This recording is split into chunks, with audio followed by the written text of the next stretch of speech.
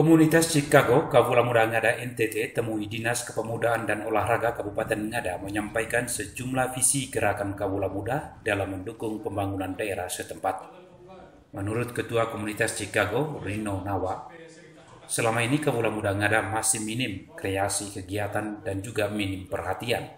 Menjawab tuntutan dan peran Kavula Muda harus inovatif dan kreatif, Komunitas Chicago Ngada mendatangi dinas instansi terkait mempresentasi sejumlah visi maupun agenda gerakan pemuda membangun daerah. Komunitas Chicago Ngada akan mengadakan workshop robotik di Kota Wajawa. Berikutnya, gerakan bazar makanan lokal, disusul kegiatan futsal hingga demo teknologi pertanian dari hasil karya Kawula Muda Ngada Komunitas Chicago.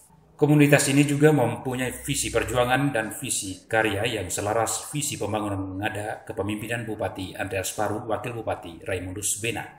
Komunitas Chicago juga akan memamerkan teknologi pertanian mendukung program Tante Nela Paris. Kehadiran komunitas Chicago di Dinas Kepemudaan dan Olahraga Ngada disambut baik oleh PLT Kepala Dinas Kepemudaan dan Olahraga setempat Vincentius Milo bersama Sekretaris Dinas Joni Dopo didampingi bidang olahraga bersama jajaran. Menurut PLT Kepala Dinas Kepemudaan Olahraga Ngada NTT, Vincentius Milo, pemerintah daerah dalam hal ini melalui Dinas Kepemudaan dan Olahraga mendukung dan mengapresiasi gerakan karya nyata komunitas Chicago Ngada yang memiliki semangat dan energi besar untuk pemajuan pembangunan daerah. Sementara itu, Sekretaris Dinas Joni Dopo kepada wartawan mengatakan gerakan-gerakan positif Kepulauan Muda Daerah merupakan energi yang patut didukung dan dielaborasi secara baik untuk agenda pembangunan daerah Kabupaten Ngada. Dinas Kepemudaan dan Olahraga Ngada memberi apresiasi dan berharap Kepulauan Muda Ngada terus bangkit dan tumbuh dalam karya serta kreasi muda untuk pemajuan daerah. Poin-poin penting dari uh, penyerapan Bapak Kadi sendiri dan kira-kira dalam pengayomannya seperti apa keterlibatan mereka dari kreativitas dan juga ada aspek di sana ada Nela Paris dan lain-lain. Pertama saya juga mesti menyampaikan terima kasih kepada Pak Bupati karena ini mulanya dari Pak Bupati surat dari surat dari komunitas Chicago ini mereka kepada Pak Bupati. Pak Bupati yang kemudian mendisposisikan ke sini untuk kemudian kami coba membahas uh, hal-hal uh, yang kemudian untuk kita bawa pada waktu pertemuan uh, dengan Pak Bupati karena kami sebagai uh, dinas yang membantu bupati di bidang kepemudaan itu. Lalu kedatangan mereka ke sini itu sebenarnya bagi kami di dinas ini saya tadi menyebutkan sebagai turning point saat membalik di mana selama ini mungkin kita tidak tidak terlalu melihat peran pemuda dalam konteks bagaimana mereka berkiprah untuk membangun ngada ini dengan dengan uh, kegiatan-kegiatan kepemudaan itu belum nampak tapi ketika mereka datang ini bagi kami di dinas ini juga ini menjadi sebuah angin segar bahwa oh ya ternyata ada jalan ketika ada anak-anak muda yang terkumpul dalam satu wadah yang namanya wadah komunitas Chicago ini. Jadi tadi kami sudah duduk bicara bersama bagaimana kami dinas memfasilitasi mereka untuk mereka bisa berpartisipasi di dalam uh, membangun terutama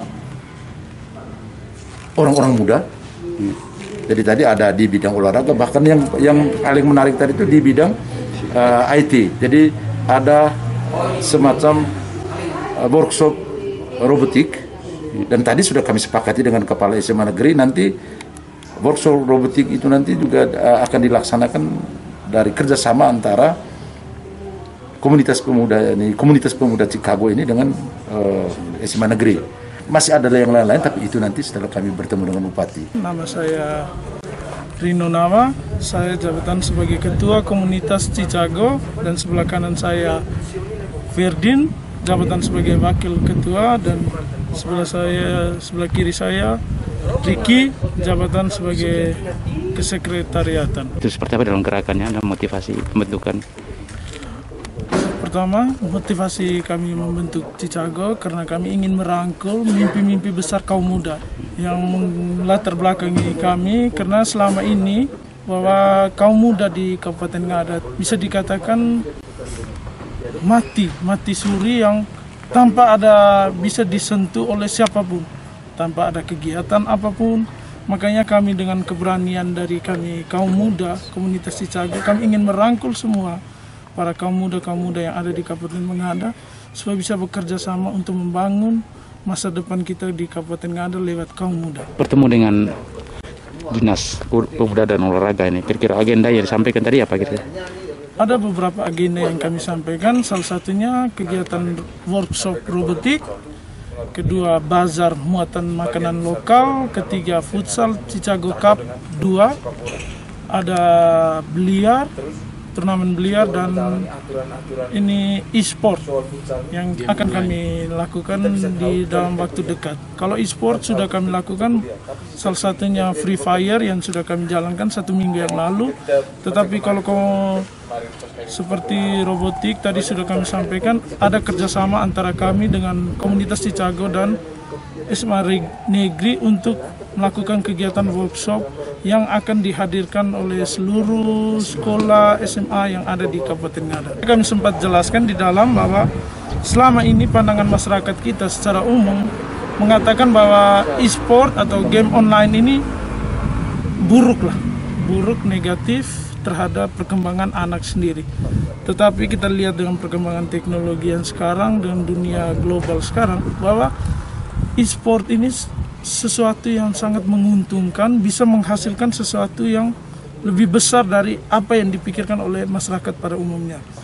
Seperti apa kita lihat di turnamen-turnamen e-sport yang sudah diadakan, bahkan di tadi sempat disampaikan oleh kepala sekolah bahwa di sekolah-sekolah di luar dari Kabupaten Ngada, pada umumnya sekolah-sekolah yang ada di wilayah Kota Maju, mereka sudah masukkan e-sport ke dalam kegiatan ekskul sekolahnya.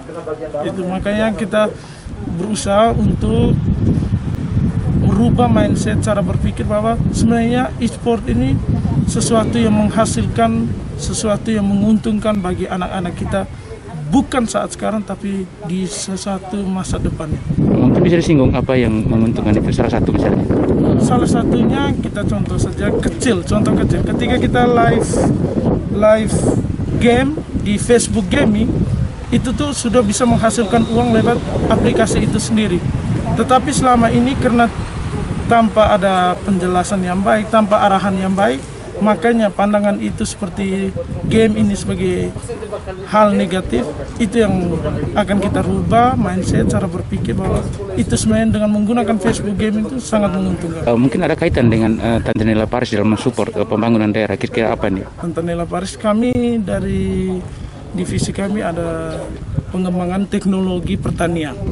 Yeah. Ada salah satu teman kami yang nantinya akan mendemokan itu di pada saat kami pertemuan dengan Bupati Kabupaten Ngada Pak Andreas Paru itu akan kami sampaikan di teknologi pertanian dengan menggunakan apa sensor untuk mengukur kelembapan tanah dan kadar pupuk yang akan kita gunakan. Ini dari dari produksi oh, buatan sendiri atau ha, ya. hasil Kalau, karya hasil karya dari hasil komunitas. karya komunitas Cicago sendiri. Ini ada pantun sedikit pantun mungkin saya ikut dari buku yang saya baca bahwa ada anak kecil pakai baju bajunya gambar burung baru Garuda. Bangsa ini tak akan maju kalau bukan di tangan pemuda. Bahwa saya harap bahwa kaum muda yang ada di Kabupaten Ngada ayo mari bersama-sama kita membangun kabupaten ini. Bukan sekedar hanya omong kosong saja tetapi dengan tindakan. Selain bergerak di kota Pajawa ini mungkin uh, ada desain dari komunitas ini untuk kaum muda di kecamatan-kecamatan sehingga tidak ke, terkesan hanya di Bajawa gitu. Ini, kami memang ada rencana dalam waktu ke depan ini kami akan merekrut dari teman-teman dari setiap kecamatan maupun dari desa-desa untuk gabung bersama kami sehingga apa yang mereka dapatkan di di komunitas kami ini bisa mereka mengimplementasikan di desa-desa tempat tinggal mereka. Ya, mereka seperti event organizer. Tapi kami sarankan bahwa kebutuhan visi misi bupati ini kan program strategi kan Tantanela Paris. Maka mereka juga kita arahkan supaya menjadi pemuda Tantanela Paris. Nanti actionnya seperti apa kita petunjuknya dari bupati sebagai decision makernya. Intinya bahwa tadi ada empat poin yang disampaikan bahwa mereka siapkan proposal tidak hanya berkecimpung di bidang olahraga, tapi dengan sektor lain juga. Intinya bahwa ini titik balik ya olahraga dan kepemudaan bangkit. Harapan yang kami nantikan sejak lama ya, sejak dinas ini terbentuk, kami praktis kegiatan kepemudaan olahraga ini minim sekali. Ya. Untuk itu gayung bersambut ya adik-adik ini sebagai pioner dan ini jalan baik untuk menunjukkan eksistensi dinas ini bahwa dinas ini sebenarnya sangat strategis sekali kepemudaan orang sangat strategis sekali kami selama ini membuat sesuatu tuh kami terkenal dengan anggaran. Tapi adik-adik ini luar biasa mereka memberikan pencerahan. Terutama menyangkut hal-hal yang sifatnya game tadi game online itu. Kesan kita selama ini orang tua yang tidak mau sangat negatif. Tapi dari penjelasan mereka tadi itu adik tadi namanya Charles dia sudah sampai di Australia tuh ikut lomba itu itu. Tapi ketika dia disampaikan manfaat game itu luar biasa. Kalau anak muda ini dirangkul ya diberikan ruang wadah ini saya pikir persoalan-persoalan di bidang kepemudaan macam ada keributan di jalan apa bisa diminimalisir. Ini mereka sangat membantu pemerintah sekali. Dari bidang olahraga memang dua isu yang kita angkat tadi. Yang pertama berkaitan dengan eh, ketersediaan sarana prasarana olahraga. Lalu isu yang kedua yang kita diskusikan tadi berkaitan dengan Eh, legal standing, eh, pendirian induk eh, cabang organisasi olahraga di Kabupaten Ngada. Tadi kita sampaikan kepada teman-teman, kepada adik-adik bahwa untuk futsal di Kabupaten Ngada ini dia tentunya masih berada di bawah PSSI. Ya.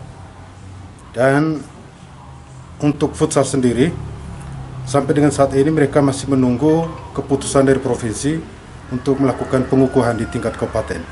Nah, sedangkan berkaitan dengan sarana prasarana olahraga, tadi disampaikan Pak Kadi juga kita upayakan dengan uh, aset yang dimiliki Pemda saat ini dengan uh, aset yang terbatas, kita coba mengoptimalkan uh, lapangan bola voli yang ada saat ini kita renovasi kembali untuk kita bangun lapangan 3 in 1 secara terintegrasi di situ bisa kita pakai untuk uh, olahraga untuk futsal, bisa juga kita gunakan untuk uh, tenis lantai dan juga untuk uh, volley sendiri.